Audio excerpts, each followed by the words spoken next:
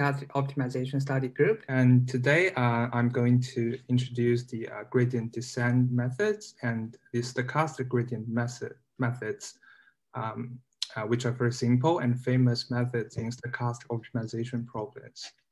So, um, so uh, this talk has like two parts. So I will firstly introduce like the first three parts and the Victoria will talk about some stochastic subgradient methods uh, for uh, some certain scenarios and make some conclusion. Um, yeah, let's start with the introduction. Um, last time we've talked about some basics of the stochastic optimization problems, and it can be applied in many fields such as communications, tracking, control theory, system identification, and machine learning. Today, I would like to introduce the gradient-based methods from the machine learning perspectives. So um, here is a typical image classification problem in machine learning, uh, where we have a bunch of uh, images of dogs and cats. And the machine learning aims to learn some hierarchical representations from these images to construct a model to classify or to distinguish which images are cats and which images are dogs. So these cats and dogs are our labels. And in this case, we wish to learn a good model such that uh, it inputs, uh, it has some inputs training samples and it outputs the predicted labels. And we wish this model um, can have a very good prediction error for these given uh, images. And mathematically, we can represent this scenario as an optimization problem uh, like this. So here, the xi denotes the training samples and yi denotes the uh, corresponding label. And h is the model that receives the training samples and outputs the predict label. And this one function is the indicator function. So if the model produces the correct result given some images, for example, given a cat image, it produces the uh, label cat, then this error is zero. And otherwise, this error is one. For example, it makes the wrong decision. So that is to say, we wish to learn a model that can distinguish the given samples as many as possible. Or we can consider a um, regression problems as follows. We have some uh, data points xi and yi in two dimensions. And we wish to learn a linear function y is equal to ax plus b that fits this data with the minimum mean squared error. And this problem is very well known as the least square problem uh, or linear uh, least square problem. And we can formulate this as an optimization problem as well uh, in this way. And uh, we know that in this case, A and B both have the uh, closed form solution. But however, in most of the cases, it is relatively hard to get closed form solution. And from those two examples, many machine learning problems can be converted into uh, the following optimization problems, such that we wish to minimize some f, uh, capital F, W, that is the sum of uh, this guy, and I'll explain what does this mean. So here, the I is the uh, training samples. And if we know uh, this uh, training sample consists of the uh, input features and output label, then we can represent it as uh, xi and yi for a pair. And this W is the model parameters. For example, in the least square problems, A and B uh, can be uh, represented as uh, the model parameters. And here we have some performance criterions or called the loss function or cost function that receives the data and model parameters and outputs some non-negative value. So if this loss function is larger, then it means that the performance is worse. And our aim is to minimize the model param uh, our aim is to learn some uh, model parameters that minimizes this quantity, uh, the capital FW in this case. Um, so how to do it? uh, as said before, usually we do not have the a closed form solution to this problem, but if the loss function is convex and differentiable with respect to W, we can use the gradient descent to search for the optimal solution. For example, uh, firstly, uh, given a uh, we want to uh, shift a bit around W. For uh, for example, we we denote it by some eta times uh, delta W for for this objective function, and with the first order Taylor approximation, we can expand this loss into two terms. So the first term is the previous loss and the second term is the uh, updated component. And we wish to minimize this, the uh, right-hand side. So actually it is equivalent to minimize the second term. Um, so uh, we can see that here, this eta is some uh, positive constant and this gradient is some fixed vector. And if we want to uh, minimize the second term, the best delta W should be chosen as the uh, negative gradient. So uh, you can think uh, uh, the delta W and the gradient as two vectors, and their product is minimized when they have the opposite direction. So based on these, we will end up with the gradient descent method. So for example, we choose some initial point W0 and a certain step size eta t, and we run the iteration in such way that Wt plus, uh, Wt plus one is equal to Wt minus eta t times the uh, gradient of our objective function. Specifically, we will calculate the gradient for each data sample and take the average. Then we take the steps proportional to the negative of the whole gradient. And uh, one may ask, uh, when does this stop? Then naturally we uh, want to achieve the epsilon suboptimality for this objective function. That is, the current loss is close to the optimal loss up to, up to some constant epsilon. Then we, then we stop. So to visualize it, there are two classical pictures that describe the gradient descent. From the left figure, the loss, uh, the loss can be visualized as a contour plot for a certain parameter W. And then the outer circle represents the higher loss and the inner circle represents the uh, lower loss. So if we start from some initial point, uh, W0 here, and we wish to approach W star in the center, and if we run the uh, gradient descent, the solution will go towards the uh, optimal solution with the reverse direction of the gradient. So this is uh, from the contour plot uh, to see the gradient descent. Or we can consider minimizing a quadratic function that we choose some uh, initial point W0 here. And if we choose appropriate step size, uh, the solution will gradually move towards to the lower uh, to the lowest point or to the optimal W star in this case. So the question is how to choose the appropriate eta t so that uh, it is guaranteed W will converge to the optimal solution. And here I will just briefly introduce the con convergence rate, uh, but the proofs are omitted here. Like for those who are interested in the proof, one can refer to the book Convex Optimization by Boyd or Numerical Optimization by Nocedal. Um, so uh, for the convergence rate of the gradient descent, if we further assume that the gradient is uh, of uh, capital Fw is L-Lipschitz continuous, so this is equivalently to say that uh, this uh, matrix, uh, this matrix Li minus the Hessian is positive semi-definite if F is twice differentiable. then if we choose a fixed step size, eta t that is smaller than 1 over L. Then in this theorem, we see that the error between the loss of Wt at uh, time t and the optimal loss uh, is bounded by some uh, constant divided by t. So we can see that when t goes to infinity, the, uh, the, this bound will goes to zero. Then the convergence rate with respect to the iteration t is O of one over T. And if we want to achieve the epsilon suboptimality, and we need at least one over epsilon iterations to achieve this error.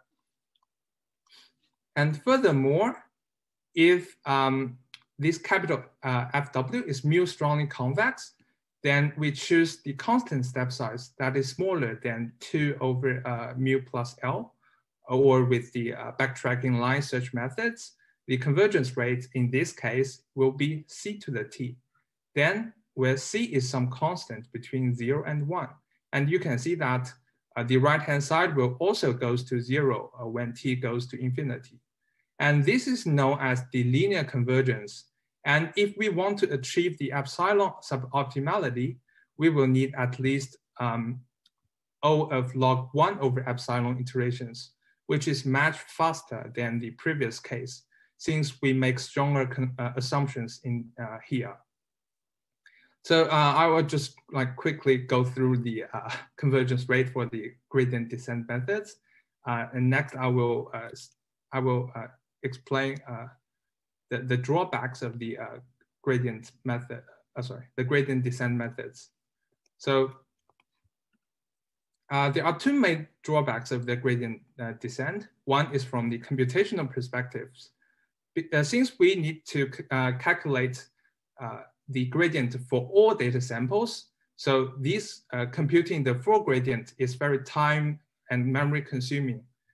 And next, the, if the loss function is non-convex, then the solution can be stuck in a stationary point, which is not a local minima. For example, the gradient descent can be ended up with a saddle point where the gradient is zero, but it is neither a minima or maxima, as shown in this figure. But today, uh, it is out of uh, a little bit out of scope today, and we will, will not like talk deep into this point.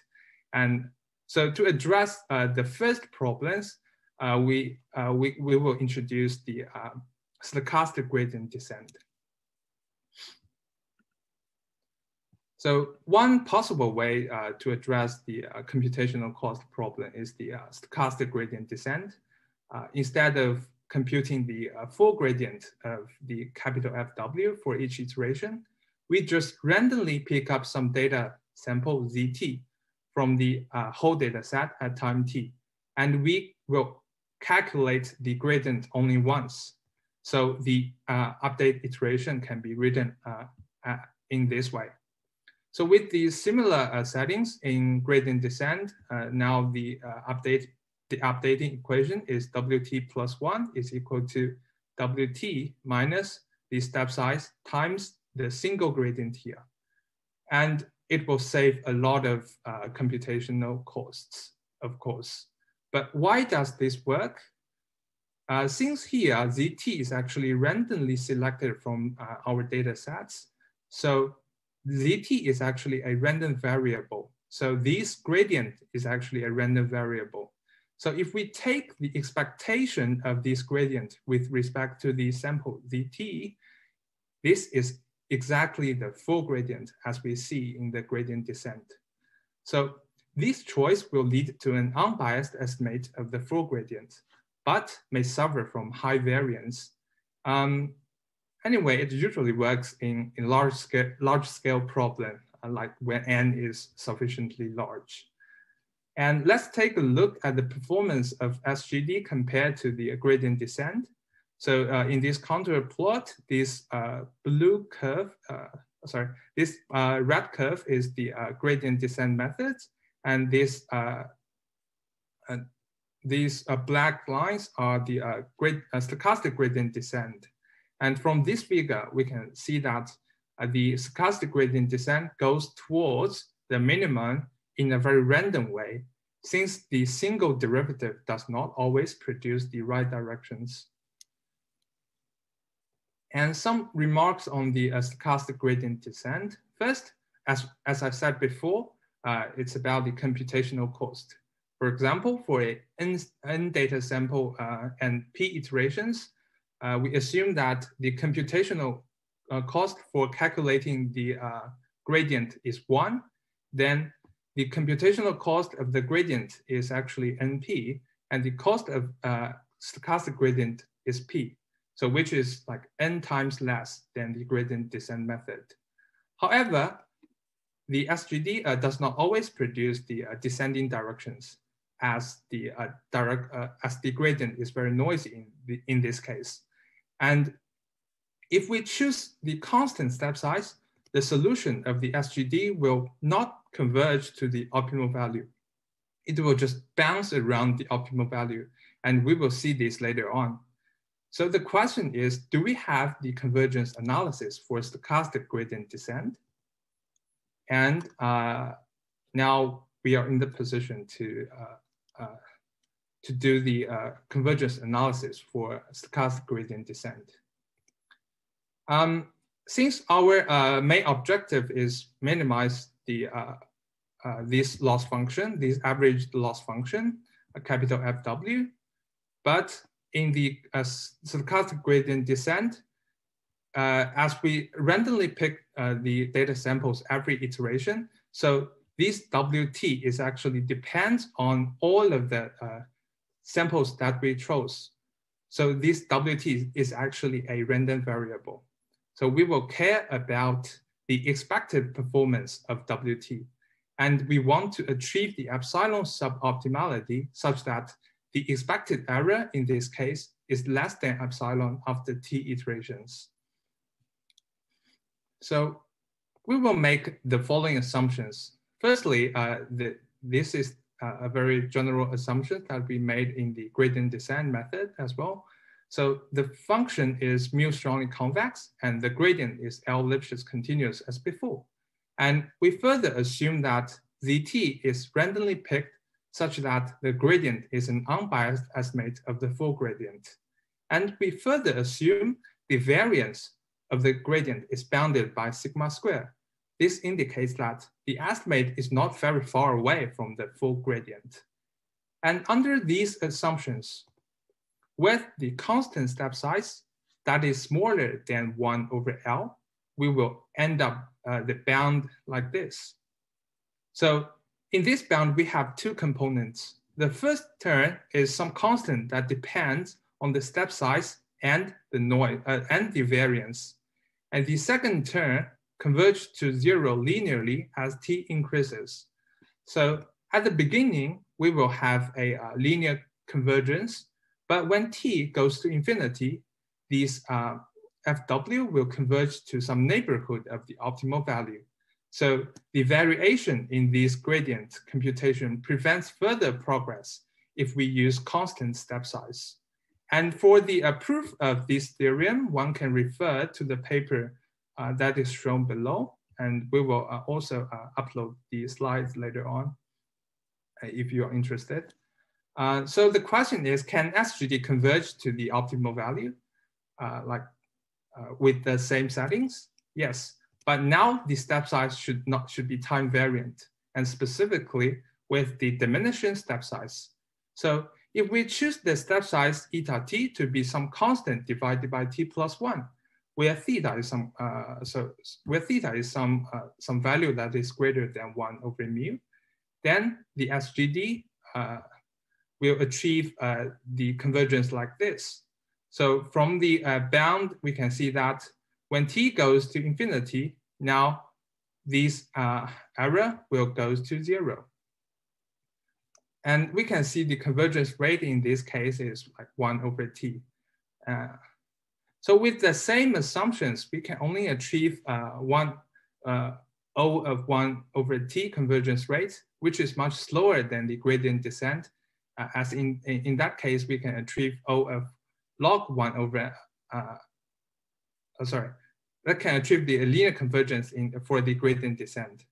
Uh, this is due to the variance that shown up in the, grade, uh, in the stochastic gradient descent. So uh, now we are in the position to see the differences between the gradient descent methods and the stochastic gradient met methods in terms of the computational cost. So to achieve the uh, epsilon suboptimality, uh, the gradient descent needs log one over epsilon iterations and for each iteration, the computational cost is around n. So the total cost would be n log 1 over epsilon, while for the stochastic gradient descent, the iteration complexity is one over epsilon, and the total computation cost is uh, one over epsilon as well. And um, so we will have uh, the following remarks. Uh, for, uh, for sure, like for each iteration, the SGD has uh, less computational cost uh, than the gradient descent. And for those large scale uh, problems, for example, when n is very large or n with a moderate epsilon, we can, the stochastic gradient descent can achieve faster convergence than the gradient descent uh, in terms of the computational cost. And the third, uh, the third point is the uh, due to the stochastic gradient descent have, have some uh, variance in the, or have some noise in, in its gradient. So it can get rid of some saddle points uh, due to the variance. So uh, I would not like go deep into this point, but, but if someone is interested in this in some theoretical analysis for this point, uh, you can uh, refer to the paper shown below. And we have seen that the gradient uh, in the stochastic gradient descent method is very actually very noisy. So naturally, we we can uh, we want to decrease uh, the variance uh, of the gradient. So um, we can increase actually we can increase the number of samples that we picked. For example, if we pick k samples randomly from the data set, where k is much smaller than n, but maybe uh, larger than one, uh, we can run the mini batch stochastic gradient descent. And in this case, the variance will just be reduced k times. But the computational cost will also increase k times. Uh, but in practical, it works pretty well. So look at the example uh, from uh, the uh, convex optimization course by Tibshirani, um, where they uh, do an experimental on the logistic regression problems with 10,000 samples. And they compare the results with the stochastic gradient descent uh, with different mini batches. For example, the red line corresponds to the uh, uh, k equals to one, and the green line corresponds to k equals 10, and this blue line corresponds to k equals uh, 100. And this uh, black curve is the full gradient where they take, uh, where, where, where k is equal to 10,000 uh, uh, for the full gradient. And we can see that um, when k is equal to 100, the performance is relatively close to the full gradient and it saves a lot of computational costs in practical applications. Um, and another important question is that can we achieve uh, log one over epsilon rate with calculating the gradient only once? Yes. So this is a very new uh, uh, research that is uh, like from maybe uh, 2012 or 2013, some sometime like that. Uh, so one typical algorithm is the stochastic average gradient so the algorithm looks like this. Like by choosing some initial parameter W0, we firstly compute the gradient for all samples and store these gradients. And in the next iteration, we randomly pick a sample and update W in an averaged way, like in here, um, where we only update the gradient that is chosen. For example, if we chose uh, Z the where i is equal to uh, maybe some random values, then we only update the, uh, the gradient for this sample and maintain the rest uh, gradient that we calculated at the beginning. And uh, with this framework, uh, we can achieve uh, the faster convergence rates with the constant step size. And in this case, the SAG uh, gradient estimates are no longer unbiased, but they will greatly reduce the variance. Um, and now in this case, the iteration complexity uh, reduces to the uh, log one over epsilon. And there are also some other variants that uh, also have similar convergence rates. For example, the SDCA, SVRG, and SAGA. So if uh, you are interested in the noise reduction techniques, you can refer to these papers. Um, okay, finally on the SGD, uh, if uh, so as before, we only talk about like when n is relatively large, but if n is not very large, is it reasonable to stop with the epsilon suboptimality uh, when epsilon is uh, a very small value? Sometimes data sample is actually very noisy. And if we simply, uh, if, if we simply minimizing the loss function for the given data sets, we might learn the noise as well. And it will cause the overfitting problems. And to see this, uh, let's take a look at the regression problems for uh, y equals sine 2 pi x plus n, where uh, x is the uh, x-axis and y is the uh, y-axis, and n is some uh, Gaussian noise. And we are given some data that, that, that are shown as the blue circles here. And we wish to learn the true function sine 2 pi x from the given data set. So we start with the uh, y equal to zero, for example, a flat line, and we run the gradient descent for these regression problems. And when we run two, two iterations, the red curve does not fit the data well. And this is known as the underfitting uh, problem. When t equals to uh, 100, in this case, this red line now fits the data quite well. And this is known as the uh, appropriate fitting. But when t comes to 5,000, we see that the curve has many spikes and meaning that the curve does not uh, only learn the true functions, but it also learned the uh, noise as well.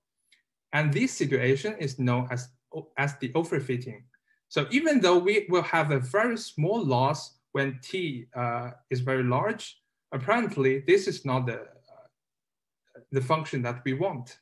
So we actually, we really, or what we really want is the case when t equals to 100, even though in this case, the loss is, is not minimal. Actually, uh, if, if samples are regarded as uh, random variables drawn from some uh, distribution P, we may consider minimizing the true risks such that we take the expected loss. So to visualize it, uh, here is a typical uh, uh, typical loss uh, figure for the uh, previous scenarios. And this red line is the true functions that we, uh, sorry, this red line is the capital FW that, which is the our objective functions as shown in the beginning, which is known as the empirical loss. And we, we define the true loss, which is the F true WT here, uh, and where we will take the expectation with respect to uh, the data distribution, since we assume that the data is modeled as a random variable drawn from some distribution P. And uh, actually, uh, given some data samples, if we just simply minimizing this, uh, our objective function uh, capital FWT, um, this F2WT will increase at some certain uh, point. So um, uh, it tells us we should stop earlier than we expected. So uh, the, in this case, the epsilon suboptimality will not work or uh, does not give a, a, good estimation for the for the true functions that we really want to learn. Um, mm, so this is known as the uh, early stopping. Uh, and this early stopping work uh, as works as an implicit regulariz regularization techniques that prevents from the overfitting. And um, if and we would not go to details uh, today for the early stopping, but I mentioned it as a, a caveat since the overfitting can be problematic while using the uh, stochastic gradient descent in some specific problems. And uh, since SGD has many applications in different loss functions, For example, the other line, uh, the Tikhonov regularization, the loss uh, logistic regression, where the loss functions are, are differentiable re with respect to uh, W. But there are also many algorithms with non-differentiable functions, such as SVM, Lasso, perceptrons, and neural networks. So how to deal with it? And talk, uh, Victoria will, will, introduce the stochastic subgradient methods for uh, loss functions. And I will just hand over to her.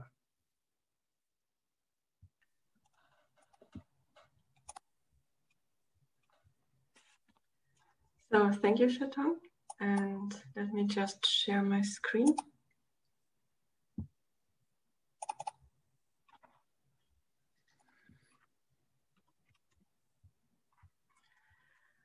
Okay, so up to now we have talked about stochastic gradient descent and we have heard about the advantages.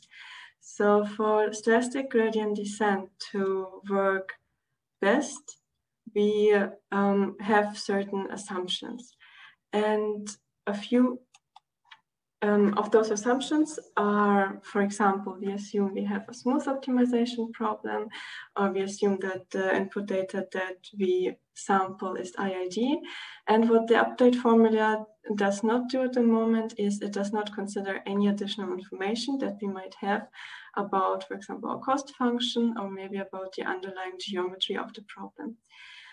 And so now this is why we decided to also talk about stochastic subgradient methods to just give an idea what can be done if those assumptions do not hold.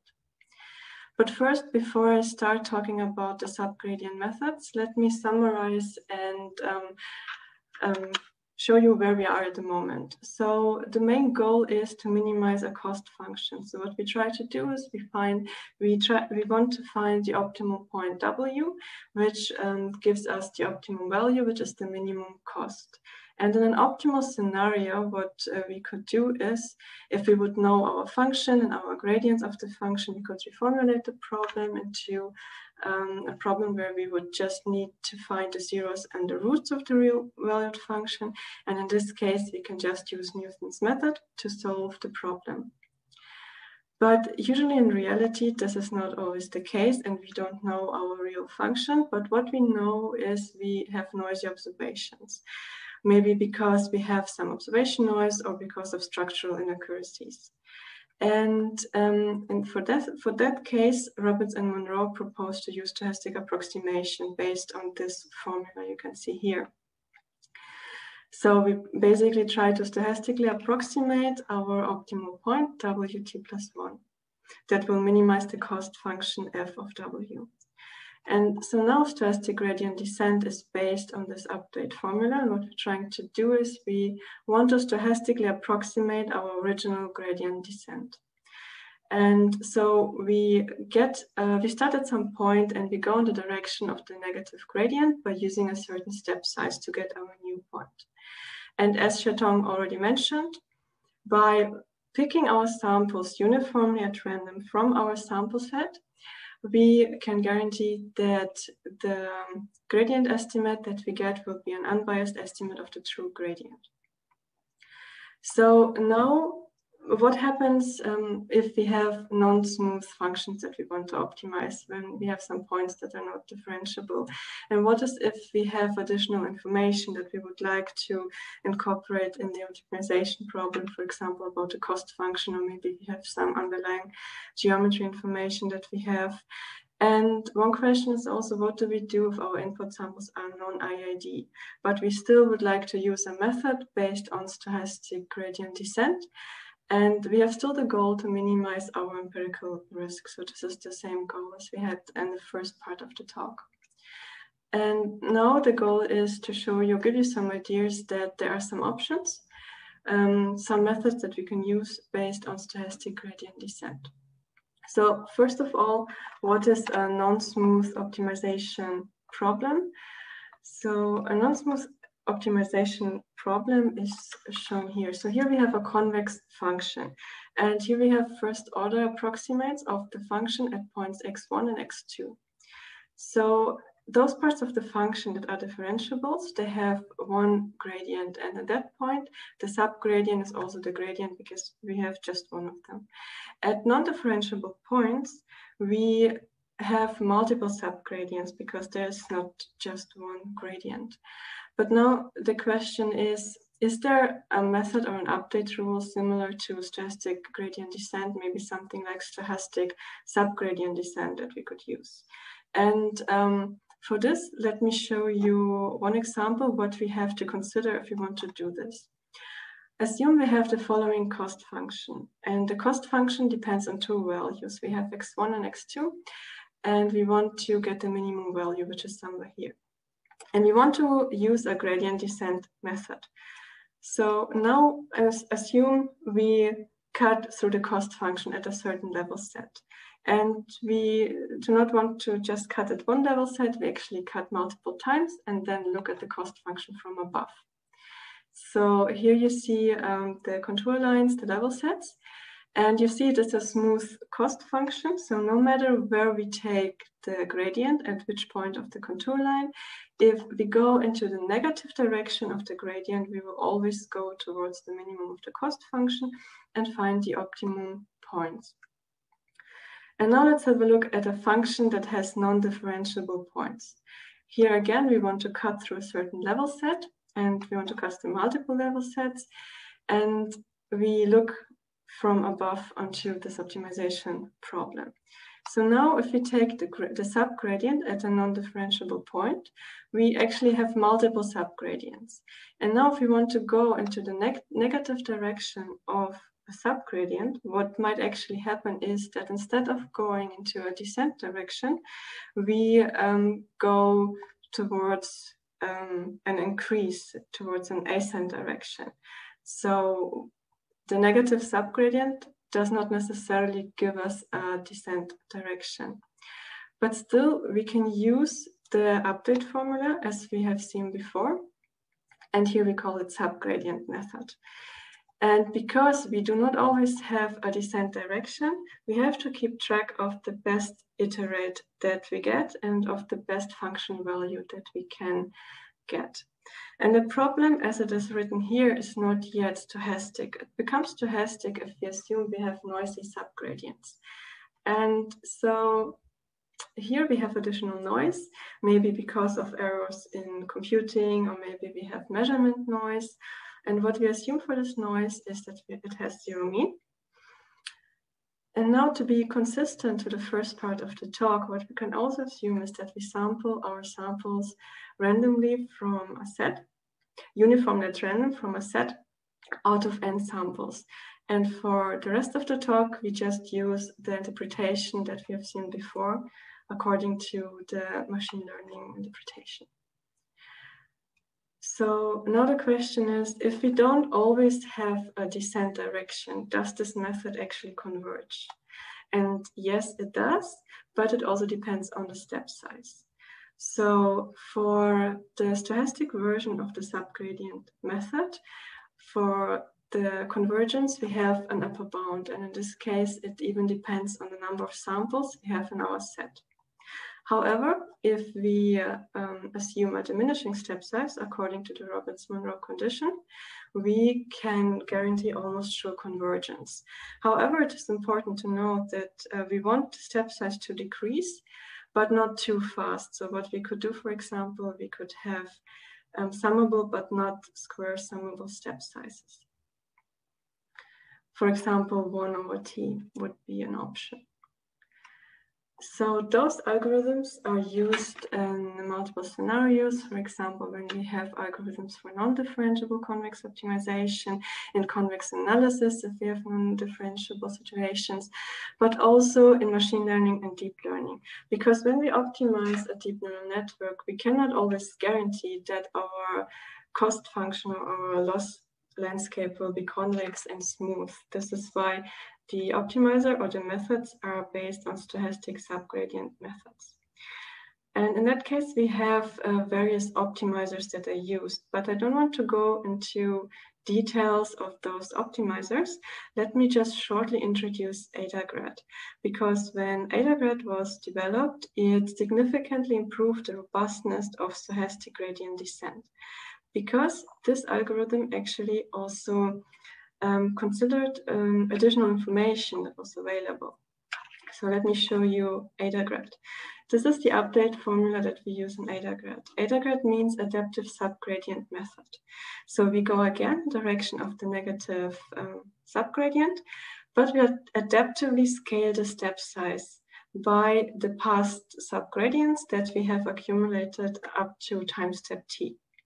And by doing this, we can say AdaGrad incorporates the knowledge of the geometry of past iterations. And now let me give you a short example why.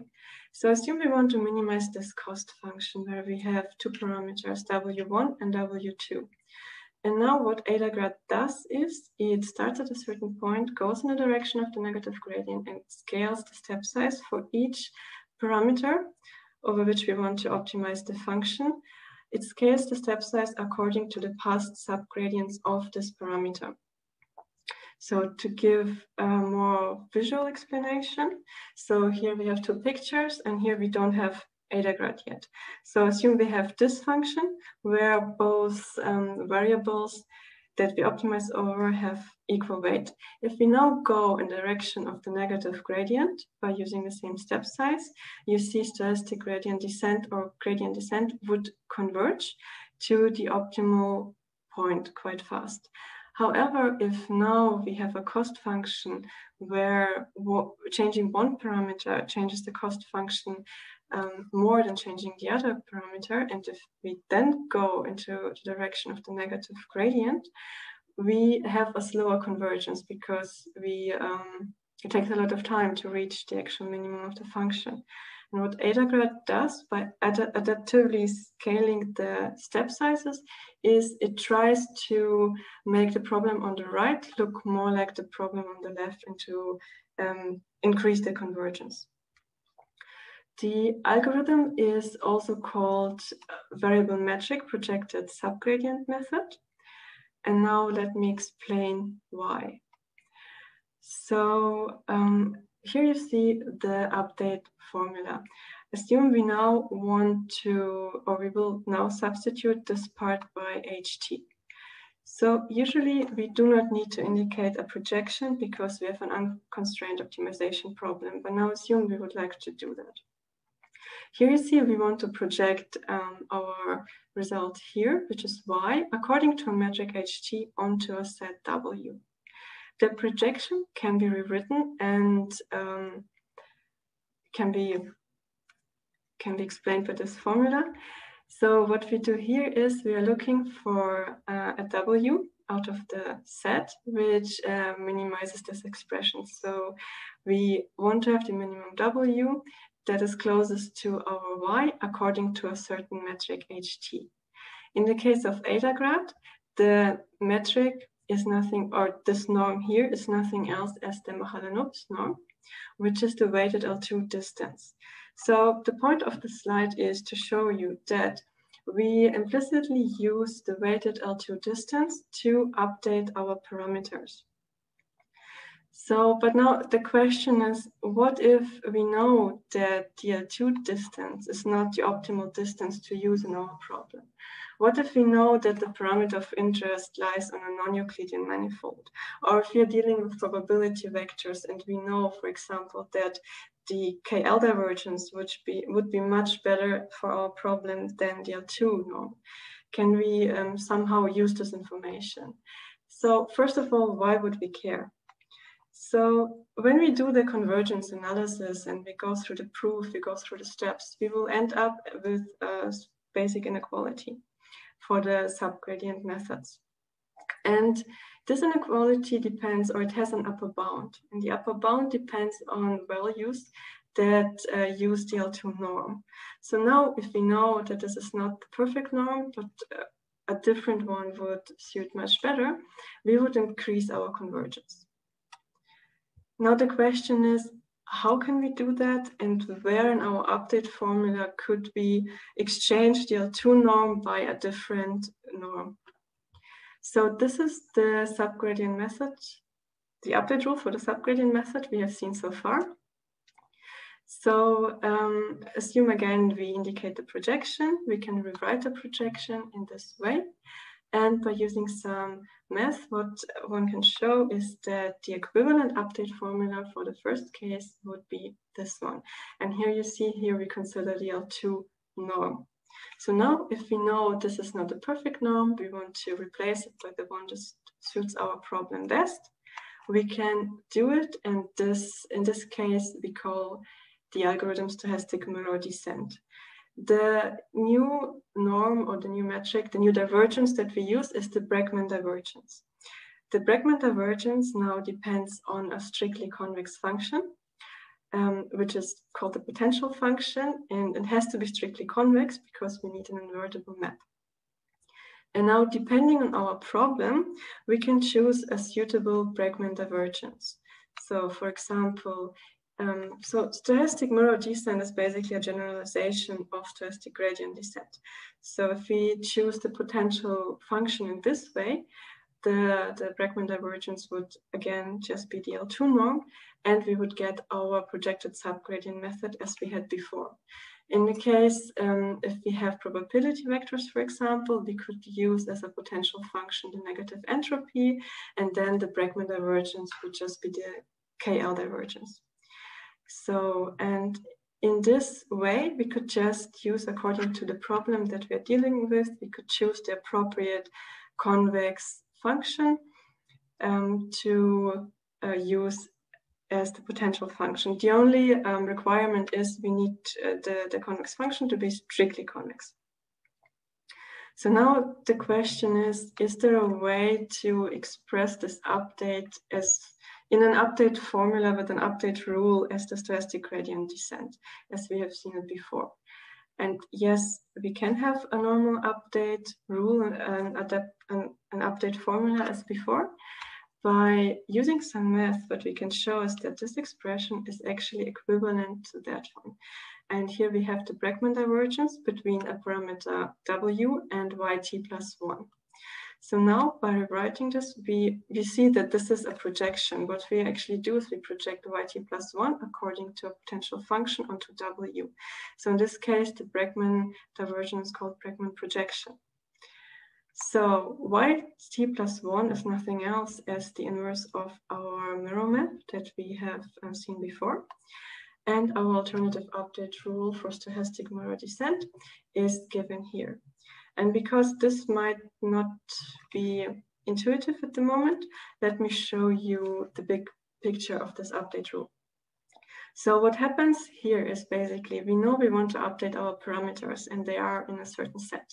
But for some reasons, we can't compute the gradients in this set or we know that computing the gradient step in a different space would be much better for our problem.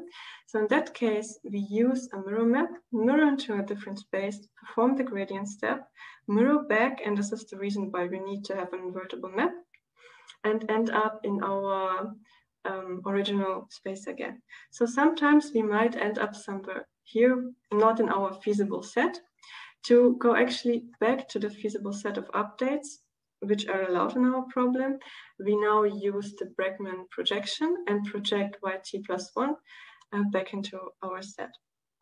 So this is basically the big picture of stochastic mirror descent.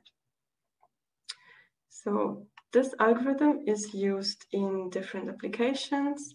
So for example, online learning, reinforcement learning, as soon as we have more information that we could incorporate about some underlying um, geometry, or if we know that it's not yet two norm that would be suitable in our problem, but it would be a different norm, we can use this algorithm.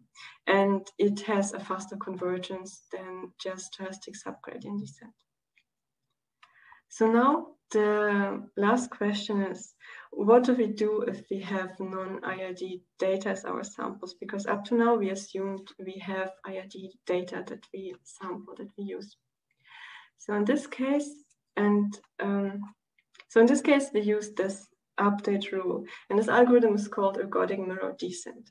And now you might notice that this is the same update formulas we have seen before.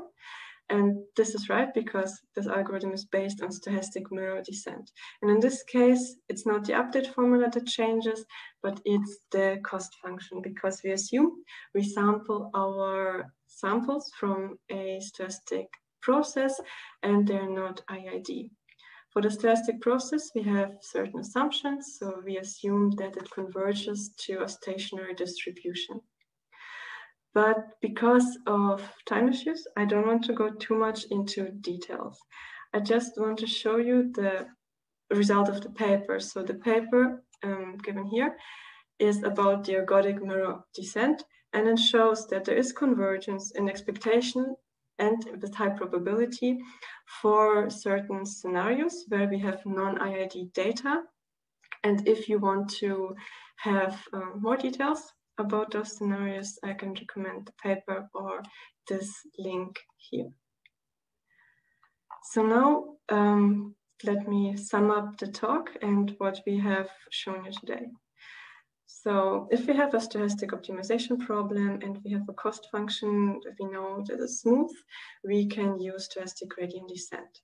But sometimes what we have is we have uh, non-differentiable functions and we want to optimize those. In this case, the stochastic subgradient method would be um, better suited. If uh, we have additional information about some underlying geometry, for example, we could use stochastic mirror descent. And it was also shown that uh, a method based on stochastic mirror descent converges for non-IID input data. So this was basically everything from my side. Thank you for your attention. If you have any questions, feel free to ask.